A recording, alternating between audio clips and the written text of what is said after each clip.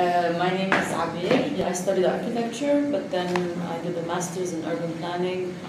But then, as soon as I finished my academic studies, I found a very big uh, value in research per se, and in urban research more particularly. But I wasn't interested in, uh, in academia. So I found that it was very important to, to produce knowledge, to do studies, but that it was more important to disseminate this knowledge in different formats, different languages, uh, and different ways of communication. One of the projects I'm going to talk about today uh, tackles like this concept primarily, and it's sort of similar to other research projects I work on, where uh, ways of dissemination and ways of engaging with different audiences is an integral part of the research project itself. I started in 2009 a project uh, with my uh, collaborator in Dictaphone Group. We started something called Dictaphone Group, which is a research and performance collective. So the idea behind this group was that uh, we conduct research on the city. It's very based on socio-scientific research, but then we try to find ways on how to engage audiences with the concepts that come out of the research, but in more interactive tools. One of the first projects we worked on was The Sea is Mine, which tackled the issue of Beirut's coast and mainly the history of the, of the seafront and the troubled relationship we have with, with the seafront today as dwellers in the city. So a very important part of the methodology that, uh, that we had in, in, this project was actually looking at research from a multidisciplinary perspective. And this is what's very interesting about the diversity that you have in this class, that you're all coming from very different disciplines. Actually what enables you all to be working on a potential same research topic is that it's a research on space. And this is the most important, the most significant aspect of studying space or places is that it encompasses all other disciplines. So you can look at space from an anthropological, sociological, scientific, urban, uh, media perspective. You can look at space through all these layers. So in the research phase, part of the project was to look at the seafront from a legal point of view. So studying it legally, studying the history of the legal framework that produced it, and studying the reality of the legal context. A very big, big part uh, of the research encompassed looking at the zoning of the area, looking at the current master plan of Beirut, but also looking at the consequent laws that have been designed over the years and that themselves produce the situation that we have today. So before this project, everybody, like media outlets and so on, had a very big uh, major discourse saying the illegal privatization of the seafront. This was like major slogans in the early 90s in newspapers. Based on the research that we did, it was actually, these developments were not really illegal encroachments on the seafront. They were actually a product of a legal framework that's been designed to cater for private developments, real estate interests at the expense of open spaces and at the expense of uh, the public, the public being able to access the sea. This legal perspective on the research allowed us to really shift the discourse a little bit, so to not to keep on falling under the assumption of illegality, because then it would be easy to blame residents for doing illegal actions, but rather shift the debate towards uh, the state that's actually encroaching on rights, on basic rights, through their control of the legal framework. And this is very much like in parallel to the project that fellow activists had done in Bahrain about the privatization of the entire island. The project is called Bahrain Jazira Bidun Bahr. So they highlighted a similar aspect that the state was actually enabling the selling out of the entire entire coast of the island and it became an island without a sea. Mm-hmm. We also used mapping as an important tool of dissemination and also an important media tool because once you're able to put all data and vis visualize them on a map, The map itself produces several readings that you can say in one image rather than in pages of, uh, of text. So this mapping is a mapping of land ownership along the seafront. After we do this map, we realize that all lands along the coast are actually privately owned.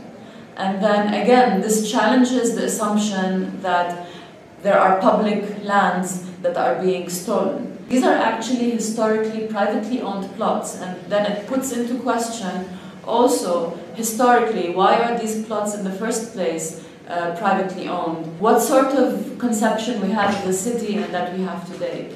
Then by looking, by crossing the, the property map with a legal framework, we start to build an argument on what happened and why did it happen this way. In addition to the legal uh, research, we also did like a very in-depth ethnographic accounts. We, to us it was very important to look at three things. The legal aspect, to look at what the coast or the seafront meant historically to residents, and what are the current practices of how people use space today.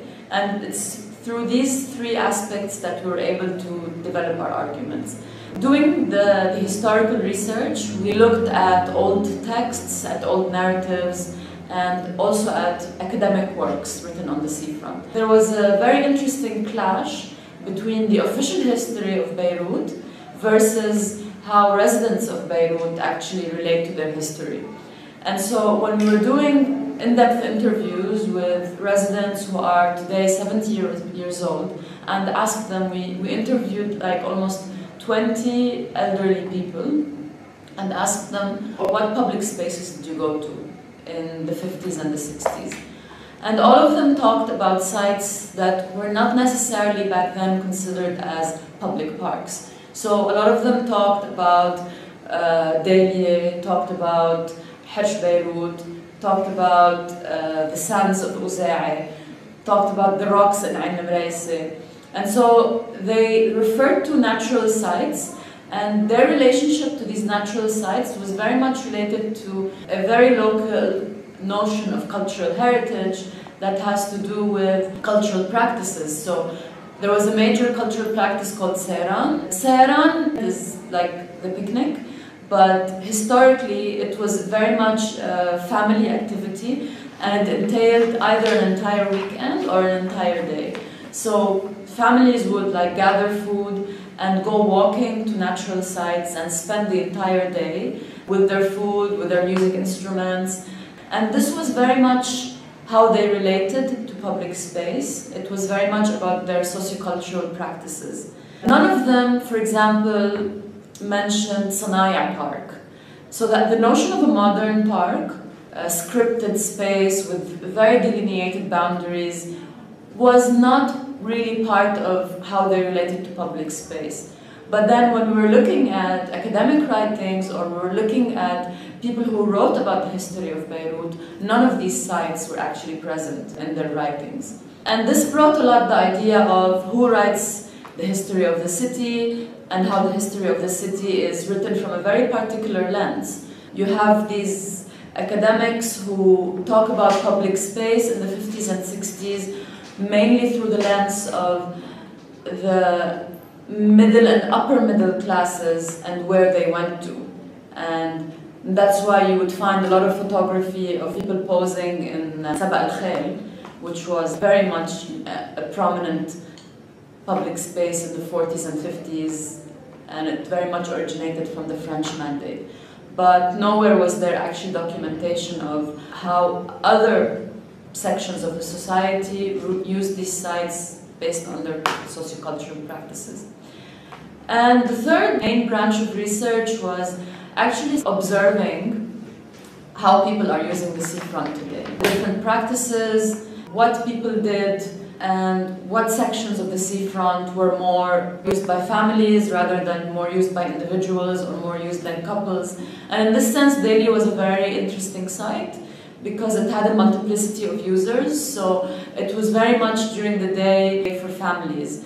But also on weekends, it was very much a space for migrant workers, for example, who, if you go to Dalieh on Sunday, you'd see a large community of Filipino domestic workers who, on their day off, go to the site.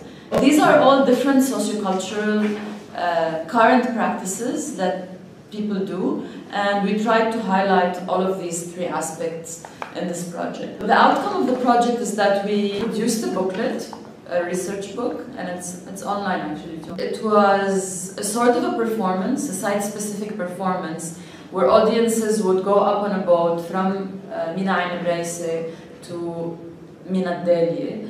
And along the way, they would learn about the history of, of the coast and what's happening along it today.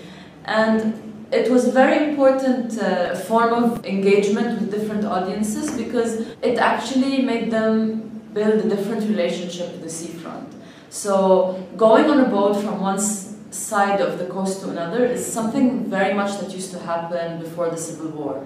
It was one of the main like local tours and people today have stopped doing it and our relationship to the seafront is mainly through uh, beach resorts like we go pay and that's how we access Beirut Sea. So audiences were actually building an alter alternative experience with the seafront and sort of building a relationship which to us was as important as them learning about the research. It was actually more important because they were engaging on a one-to-one -one basis. And then after the performance ended, a lot of initiatives started popping up and that we had nothing to do with. And so a lot of people were asking, uh, what is this uh, group? Is it a research group? Is it performance? Is it activism? Is it uh, media? It was significant that people could not tag what was this. They couldn't put it in a box. It was really looking at things in a multidisciplinary manner and actually putting them out there in, in diverse forms. The research took a life of its own because it was put out in the public in, in a way that could be easily used. And then what we also did is that the performance ended, we made the effort of turning it into a sound piece and putting it online and anybody could download the sound piece and go take the tour and relive this experience. This project that we did in Beirut in 2012, we sort of wanted to extend it to other Lebanese cities, but we also wanted to do it in a different way. So we went to the city of Saida and instead of us doing the research and us developing the, the performance, we worked with a local group of young activists, young artists, young researchers who were passionate about the issue of the seafront and public space more generally. And we conducted with them training workshops on our work methodologies and they ended up actually producing uh, the work. What was interesting about Saida and very different from Beirut, in Saida there was a prominent photographer uh, who lived from the 40s and he passed away recently. His name is Hashim Madani. He used to have a photo studio and what made him different from a lot of other photo studios at the time is that not only did people come to his studio to take photos, he actually used to go out in the city with his camera and photograph people on their outings, on their holidays, in public spaces. And so we had an entire archive of sociocultural practices in Saida in public space in the 1950s. And then these as documents were in themselves such an important account of what the city looked like and what its seafront looked like. And so you have Photos like this on the sandy seafront, which also challenged a lot of preconceptions about Saida being a very conservative city because you had a woman in a swimsuit in the 1950s, and this is something that's almost impossible to see today in, pub in the public on the Saida public beach.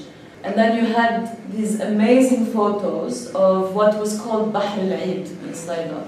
During the Eid of Ramadan in Beirut, they call it Hirsh al-Eid, because the Eid was celebrated in Hirsh Beirut. Interestingly, in Saida it was called Bahr al-Eid because Eid was celebrated on the seafront. The fishermen were a very, very important part of these celebrations because on these three days they would transform their wooden boats into swings. And so, with the participants, each one took a site and uncovered the history of that site. And you would start to see these state planning projects that would, day after day, compromise these sites, destroy them, to rebuild a vision for the city that totally marginalizes the sites that are used by the most marginal or popular of communities. So it's not always an issue of illegality or bad planning. It's actually very conscious planning towards a very specific vision. It's that, that it's just that this vision is not inclusive of all interests. It's only inclusive of a very specific interest of a, of a certain privileged class that would like the city to look in a certain way.